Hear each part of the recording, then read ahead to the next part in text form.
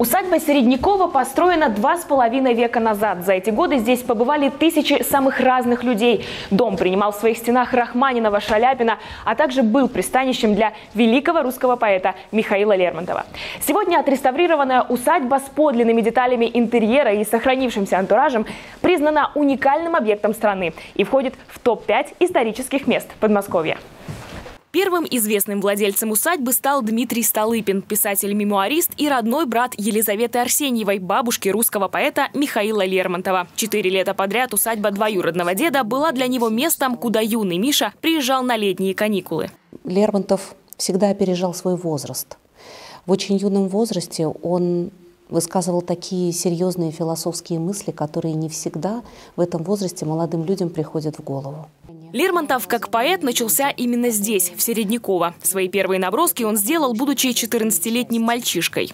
Он пишет большую часть своих произведений. Около 150 стихотворений, 17 поэм, 4 драмы. Он осознает, что он поэт, что литературное поприще – это его призвание – и пишет здесь те произведения, которые нынешние его ровесники в наше время те же 14, 15, 16, 17-летние молодые люди изучают в школе и учат наизусть. За свои короткие 26 лет жизни Михаил Лермонтов успел стать русским классиком, чье творчество переведено на разные языки мира. «Отворите мне темницу, дайте мне сияние дня, черноглазую девицу, черногривого коня». Узкая крутая лестница ведет к Бельведеру, башенке, где очень любил бывать великий русский поэт. По легенде, именно здесь Михаил Лермонтов написал одно из самых известных своих стихотворений. Несмотря на то, что усадьба Середнякова была всего лишь летней дачей для поэта, сегодня ее называют Лермонтовским уголком. В комнате, где предположительно чаще всего бывал поэт, хранятся его рукописи, авторские рисунки. А чуть позже сюда привезли бюст, работу Анны Голубкиной. Известная русская скульптор, которая поехала во Францию учиться у великого французского скульптора Родена и в 1900 году в Париже выполнила вот этот скульптурный портрет Михаила Юрьевича Лермонтова, который был привезен сюда сюда в усадьбу и с тех пор сохранился в доме. А когда заканчивалось лето, в усадьбе наступала пора балов и светских вечеров. Столыпины приглашали к себе известных музыкантов, певцов и артистов. Именитые гости выступали вот в этом небольшом концертном зале. Здесь прекрасный звук благодаря овальной форме и высокому потолку. Это камерный зал, он не очень большой. 30 э, человек сейчас в наши дни могут присесть в этом зале, чтобы послушать музыку. Сегодня в усадьбе все пропитано духом Лермонтова. Даже роспись на потолке и та по мотивам одного из самых загадочных произведений автора – поэмы «Демон». В память о великом русском поэте работу заказала последняя владелица поместья Вера Ферсанова единственная дочь богатого московского купца, унаследовавшая от него большое состояние, была одной из первых в России успешных женщин-предпринимательниц конца XIX – начала XX века. Сейчас нас, конечно, не удивишь в нашей жизни. У нас многие женщины работают и умеют зарабатывать деньги и вести дела, но для того времени это еще было в новинку.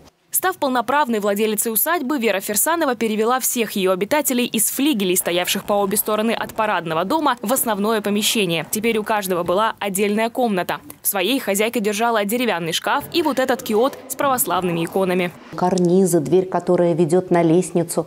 То есть вот эти деревянные предметы с пятнистой фанеровкой – это предметы старого интерьера ферсановского времени. Еще одна неотъемлемая деталь интерьера парадного дома – сирень. Ее очень любила последняя последняя хозяйка имения. На территории усадьбы Вера Ферсанова высаживала кусты изысканных сортов, а цветущие ветки всегда приносила в дом. С тех пор сирень стала символом усадьбы Середнякова. Той сирени, которую сажала она, конечно, уже нет, но наши садовники э, в память о Вере Ивановне Ферсановой о тех временах э, тоже сажают в парке везде сирень и выращивают несколько кустиков сирени каждый год в усадьбе к Новому году и Рождеству.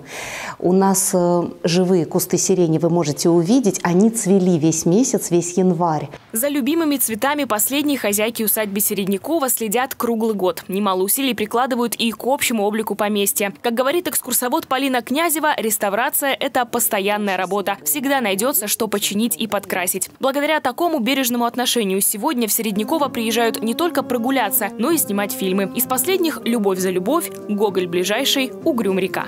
Усадьба, в принципе, живая. Она оживает не только в кино, она живет каждый день полноценной жизнью и дышит полной грудью. А некоторые сотрудники Середнякова уверены, живет усадьба даже тогда, когда в ее комнатах пусто. Бывает, что-то мелькнет в окне, бывает э, кажется, что как будто кто-то играет на рояле на втором этаже, ты поднимаешься, и там никого нет. То есть такое происходит постоянно, конечно. Вас это пугает или наоборот как-то так? Нет, нас это не пугает. Усадьбе на следующий год исполняется 250 лет. 250 лет с того момента, как начали ее строить. Это огромное количество лет. И, конечно, дом, он живой, и он хранит и память, и энергию, чувства тех людей, которые здесь жили. Ходят аккуратно, громко не разговаривают. Сотрудники усадьбы сегодня стараются не нарушать покой дома, значившего так много для своих хозяев. Уважают и бережно хранят память, чувства и дух каждого, кто когда-то переступал порог огромного поместья в ближайшем Подмосковье. Нина Липанова, Руслан Сафин. Новости. Химки ТВ.